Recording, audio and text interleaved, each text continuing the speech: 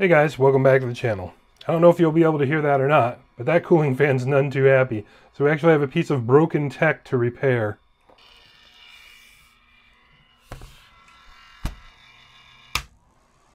And just like that, it's fixed. I think I'm gonna have to tear it apart and replace that cooling fan. Pretty sure I got a couple of them in stock.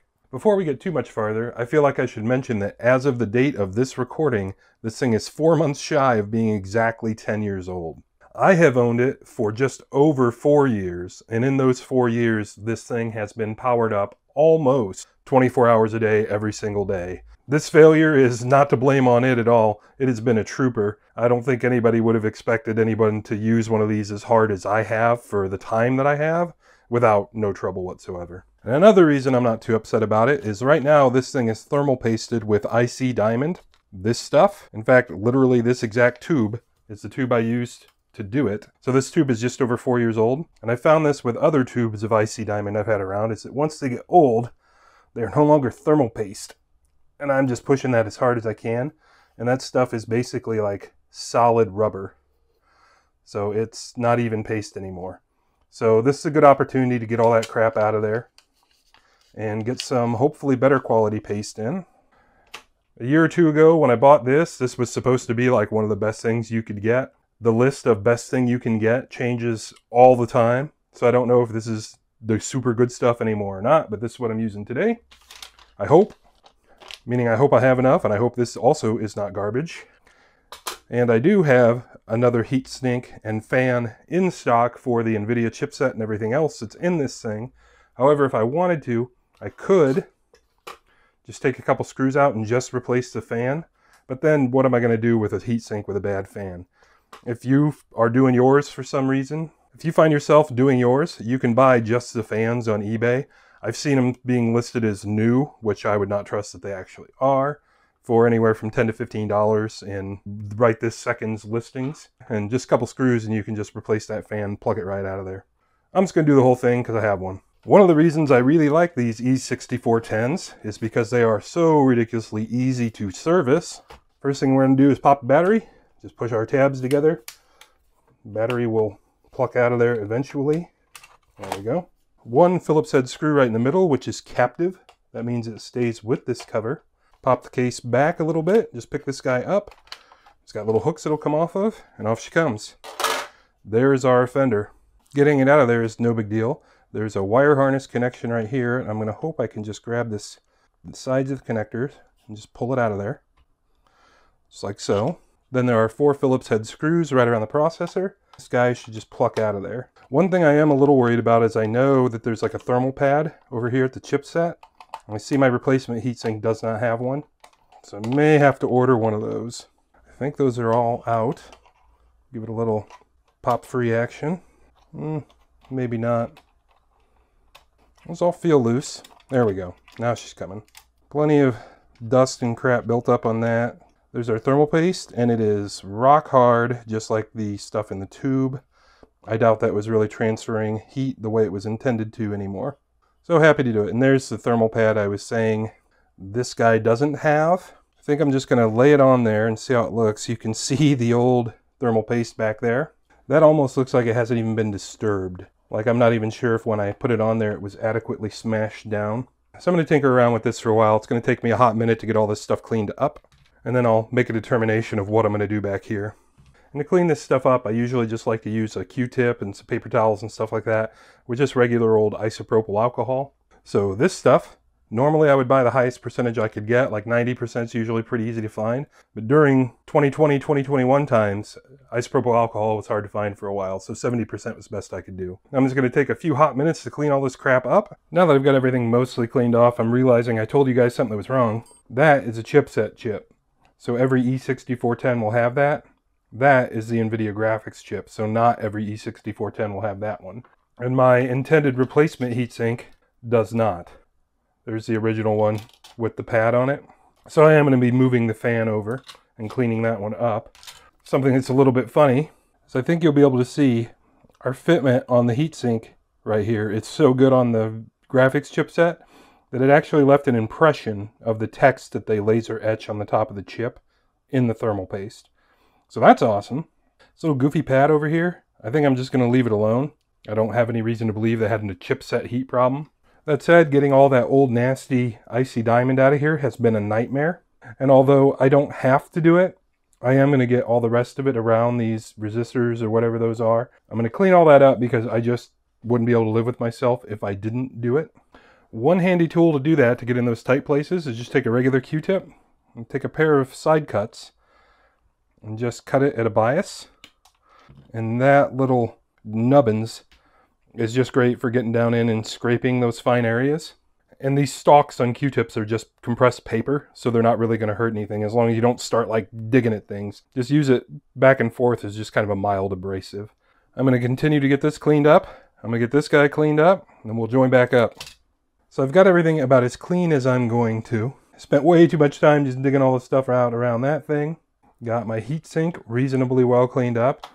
Looks like there's a thermal pad on it for the NVIDIA chipset as well. Seems like it's in fine condition. As we saw a moment ago, we were having great contact and everything, so I'm not going to sweat that. I'm just going to repaste it. So the next thing to do is take our problem child fan off and replace it with one that's hopefully less of a problem child. And the fans themselves are both the same Dell part number. And for your reference, that part number is yeah, 04H1RR. And finally, we are down to what should be the easy part, which is to take this fan off and throw it in the trash. Just kind of picks up off there like so. You might be able to see the problem we're having here. I can actually move this fan blade in and out on its hub.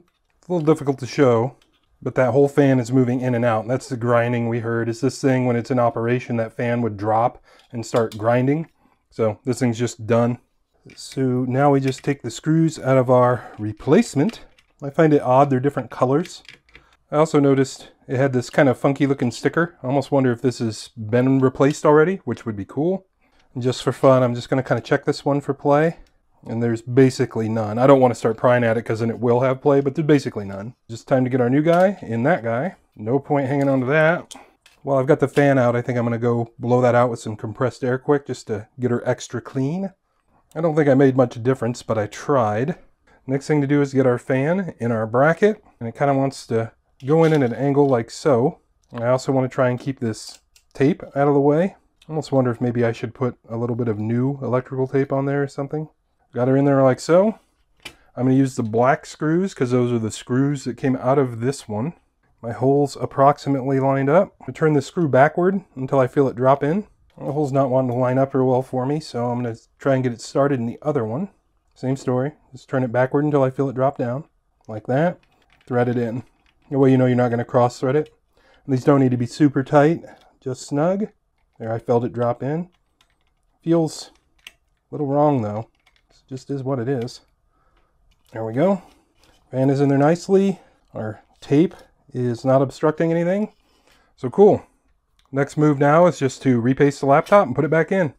Hoping I have enough of this left and that this is also not garbage. I'm going to try and use just a little bit less than I did apparently the last time. I had plenty on it. And this stuff does still seem good. It's about a year and a half old. And some people will kind of spread this out. I kind of just go with the dollop method. looks like I've got more than enough paste to do another one if I need to. Now the only remotely tricky part is I like to try and get the heatsink all lined up so I can get it down in one shot and not kind of smear the thermal paste around. I want it to kind of compress on its own. Feels like something's holding it up. So, so much for the one shot approach. There we go. That's better. Tighten our screws up. They don't need to be super duper tight, just like everything else. I would say snug plus a little bit is plenty for these. Last but not least, do not forget to plug your fan in. I have done that several times before, and uh, they don't think it's too funny. I'm going to once again go for my pair of pliers just to help me, or hopefully help me. Tweezers may be a better option. Plugging it in the right way would also be helpful. I've already had to fight with these enough, but that I've actually taken the fan back out of the heatsink to be able to plug this thing in and then reinstalled the fan. Neat. Just broke a wire off of it. That one right there. So, that's not going to work. So it looks like I am going to be installing the fan separate of the heatsink because I just trashed this fan. Good news is I've got another fan. Enter the third fan of the video. This is the same part number. And this one I am going to plug in first. Looks like it wants to go like so. And actually, just because I don't want to risk destroying this one, I need to get a better view of what I'm doing. So when you come back, that'll be plugged in. She's plugged in. Just going to carefully snake it down in there like so. Get our screws back in it, which is no different than it was 30 seconds ago. And we're done. And I think I may have forgot to mention, I did check this fan for play because it's also used and it was fine. Tuck our wire back down. Hopefully that doesn't break off. Good to go. Now we just need to take our back and put back on it. There are little hooks along this thing. And there are little windows those hooks engage into. You just gotta kind of put it on there and futz with it a little bit. Sometimes it helps to take a screw and just pull it up some. I'm all pushed in. And when you get them all aligned, you'll know because this panel will fit flat. Sometimes you'll miss one, they'll kind of stick out at the front. I think that's about right. Put our battery back in, see if sparks come shooting out. No immediate sparks. Powered on.